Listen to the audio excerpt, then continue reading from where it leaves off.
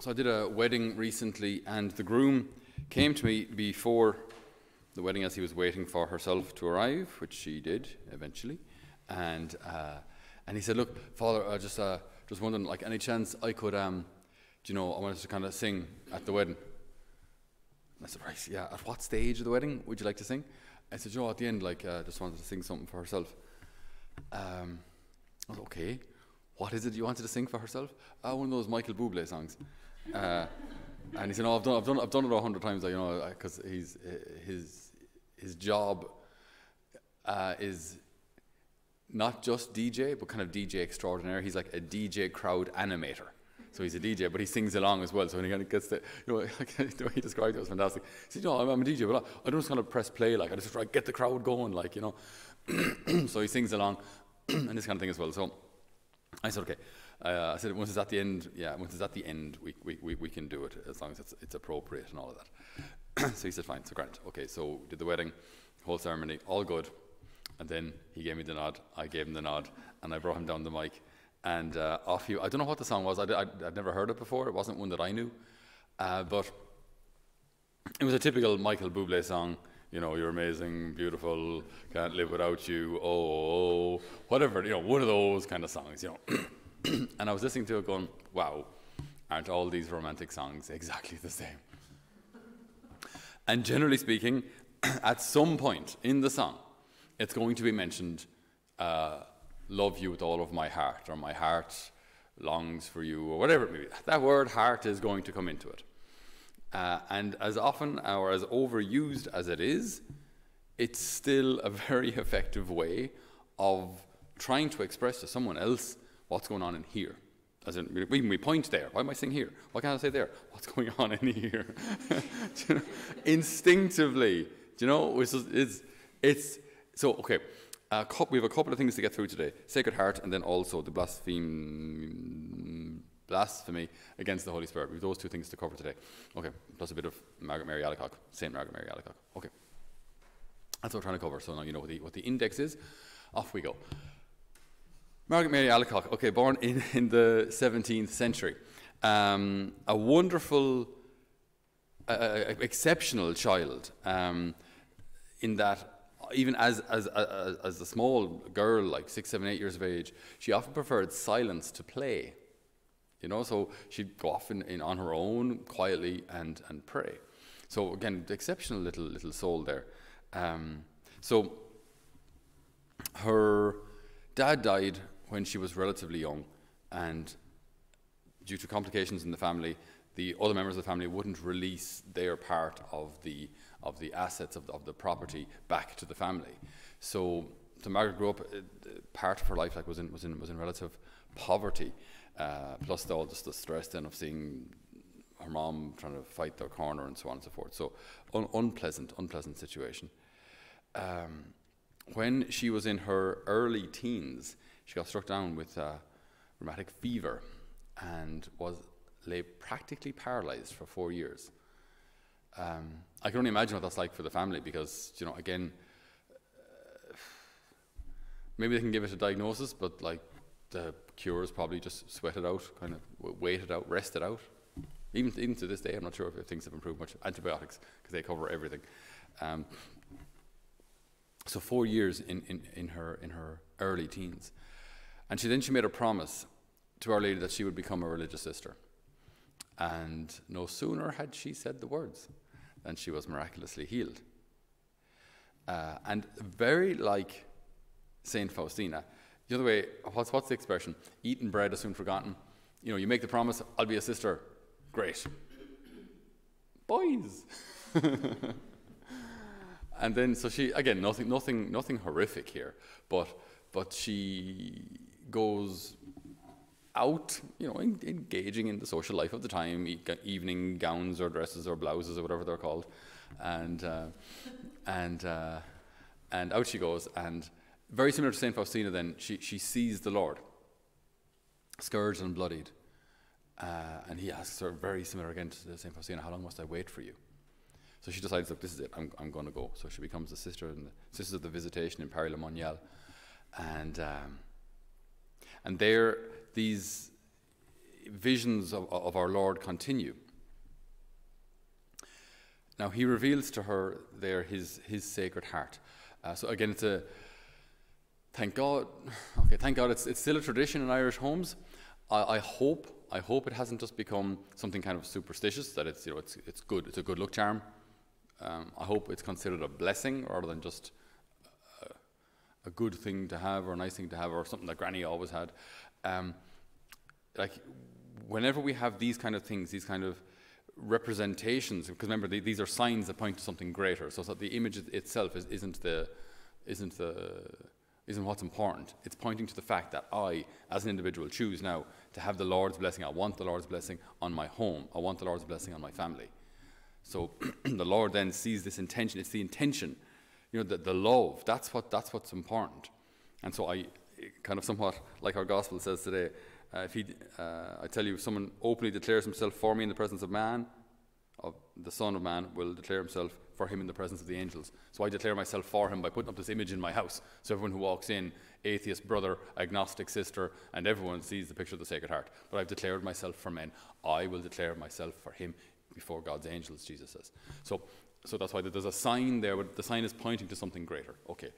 And what is that sign? It's the Lord using our language. I have no idea if the Chinese say, uh, I love you with all of my heart. And if actually, if there are any viewers out there who speak Chinese, let me know. I'm not sure if that expression exists in Chinese. Do, do the Chinese or Asians, Koreans, Japanese, do they say I love you with all of my heart or they say I love you with all of my something else? I don't know. But in all the Romance languages, French, Spanish, Italian, they're all ones I know, kind of. Uh, in English, of course, it's I love you with all my heart. De tout mon cœur, tutto il mio cuore, todo il mio corazón all of those, all the same, same expression, right?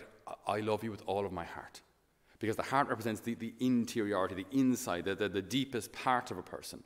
So now Jesus is saying, I expose my heart to you. you know, we even have the expression in English, I wear my heart on my sleeve. So he doesn't just wear his heart on his if, you, if someone says if someone if, if it is said about someone they wear their heart on their sleeve it's generally it's kind of negative it means that they, they give away their heart too easily and get hurt Whereas the Lord reveals his heart to us.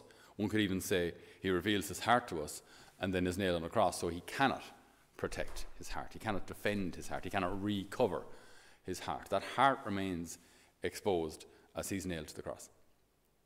And so, in, in the image then of, of the Sacred Heart, we have the heart on fire with love, with a cross on top and a crown of thorns around it. So we have this, this profound image of love. Not all roses, not all emotion, but, but action and self sacrifice. So I love you with all of my heart, and because I love you with all of my heart, I will, I will sacrifice myself for you. I will offer myself for you. I will give myself for you. I burn with love for you, but I'm willing to be crowned with thorns, crucified for you. So this is what the, the devotion to the, to the Sacred Heart shows us, amongst many other things, but just, just to, to get to the basics of it. So the Lord revealing his heart to us, inviting us to his heart. Okay. Um, one little theological point on this, if I may. Uh, St. Margaret Mary, while she was a sister, uh, her visions were between misunderstood and considered, uh, they were either misunderstood or considered fictitious uh, even by, by theologians and, and, and, people at the time. Uh, so obviously that's very hurtful and painful because she didn't make it up. Um, she, her story was always consistent, but what am I supposed to do? If you don't believe me, what am I actually supposed to do? I mean, I can't, you know, to prove that my visions are, are true, watch me levitate.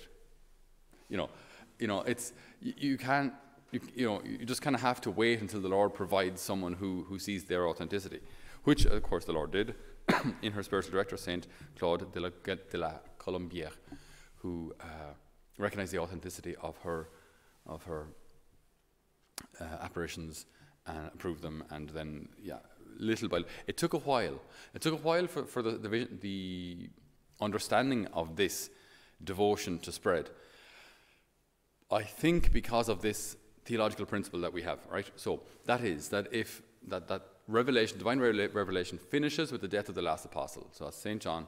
When St. John died, divine revelation finished. Okay, now remember, these, is, these are theological terms. So divine revelation it's a very, very strict uh, period of time. So all of sacred scripture, that's divine revelation. It stops with St. John. Why? Because that's when uh, sacred scripture, when they stopped writing sacred scripture.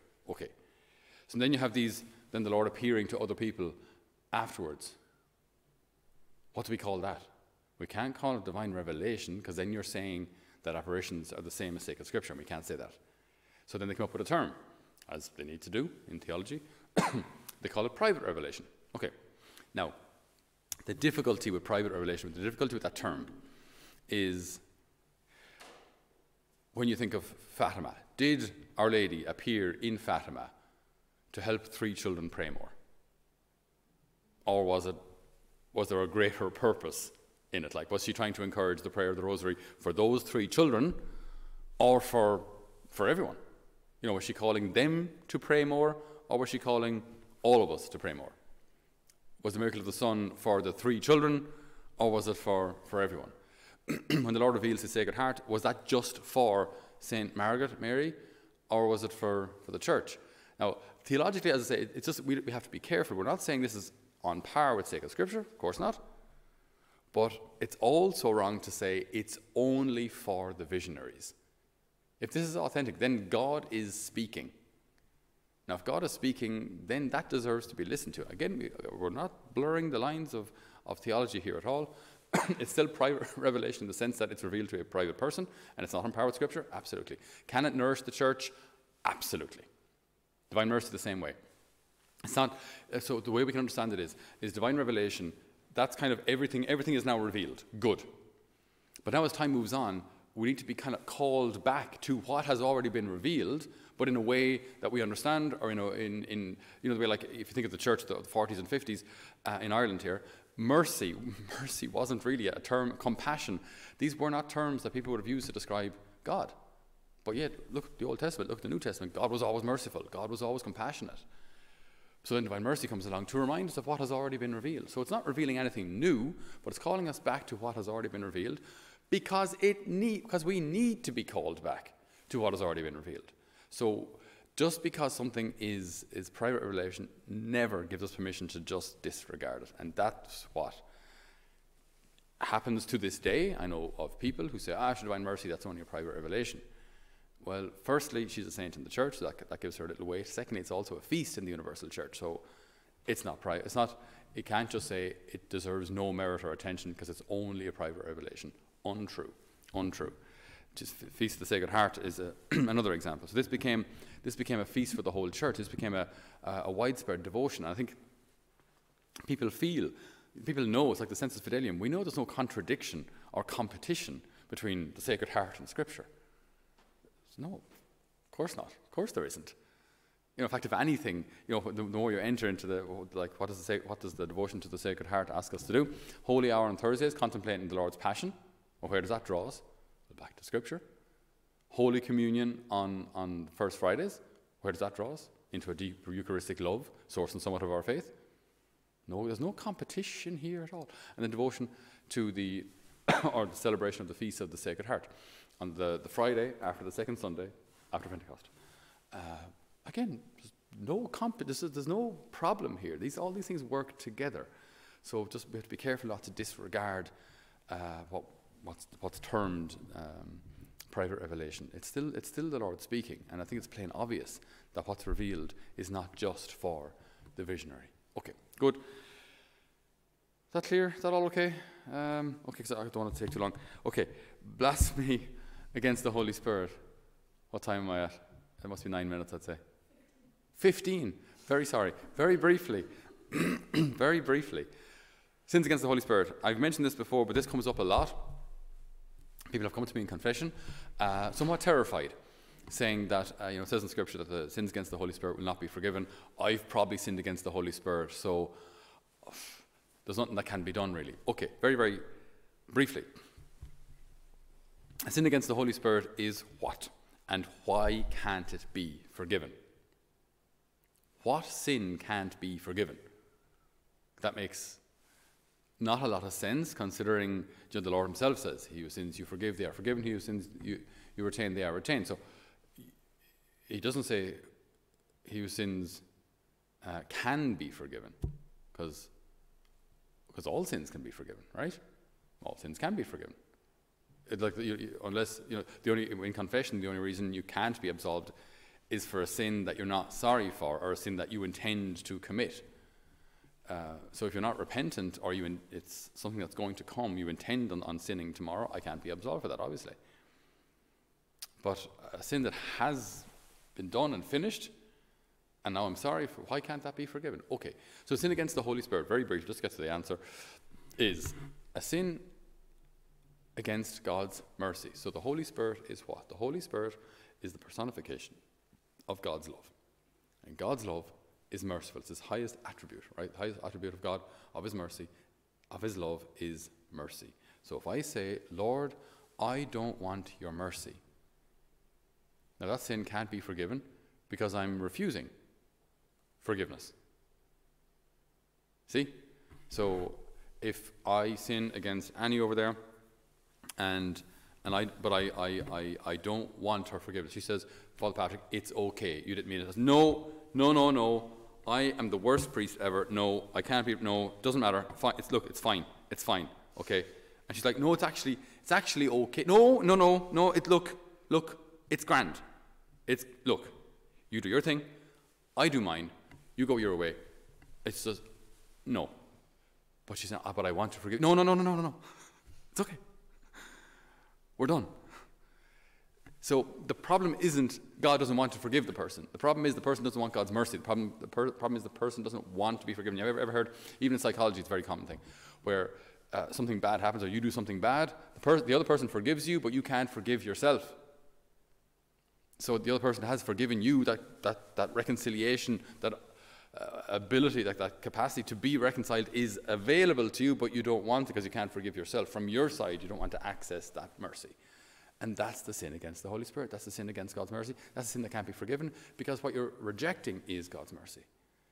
So just we have to be careful reading that, that we never think that there are some sins, kind of hidden ones that God won't tell us about, that can't be forgiven. Because then we, we, we blacken God's name, we blacken our, our, the understanding of God as a loving Father. And like, because there are these mysterious sins and no one really knows exactly what they are, but if you commit them, you can't be forgiven. Like it just, just creates fear of God. Like it's and that's just so just to be clear, every sin that we're sorry for, that we don't intend on committing again, firm, firm purpose of, of amendment, every sin that we're sorry for, we can be forgiven. Because God is merciful. What do we think He opens His heart for? He draws us to His heart. He doesn't protect His heart, draws us into that relationship of love and mercy. And with that, I'll stop. so, we ask the good Lord today, through the prayers and intercession of St. Margaret Mary Alacoque, to help us to understand and live in the mercy of God, that we and all those around us might benefit from it. Amen.